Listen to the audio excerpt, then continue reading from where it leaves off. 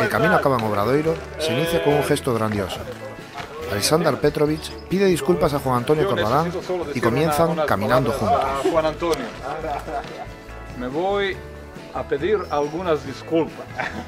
Y cuando tienes una legenda por delante y todo eso, algunos momentos no te comportas bien cuando gana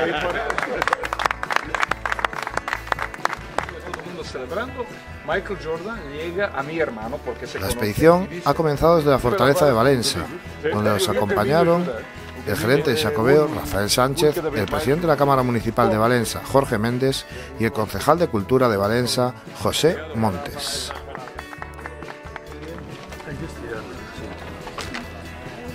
El protagonista llegó al punto de encuentro preparado con la mochila que le acompañará durante el trayecto, por parte de Correos y su servicio Pack Mochila.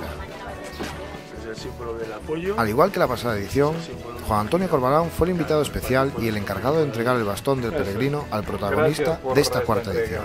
Muy bien, Juan Antonio. Y que tengas un buen camino. Gracias. Lo, lo escucharás muchas veces. Buen camino es como desearte felicidad.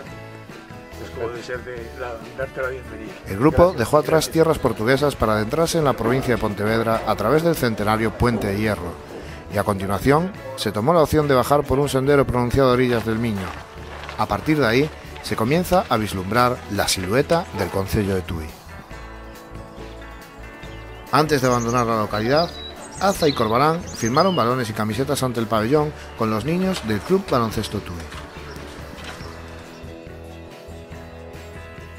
A partir de este instante, la expedición se adentró en la profunda naturaleza de los bosques gallegos, encaminándose a la LIC Gándaras de Buiño, pero con una parada técnica antes, en el puente de San Telmo, también conocido como Puente das Febres, para realizar Aza y Corbalán una interesante y profunda entrevista.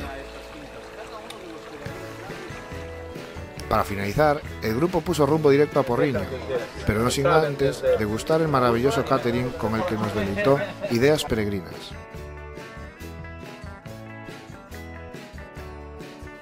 En Oporriño finalizó esta primera etapa, completada con mucho éxito, ganas y emoción por Aza, Marco, Corbalán y el resto de la expedición obradoirista.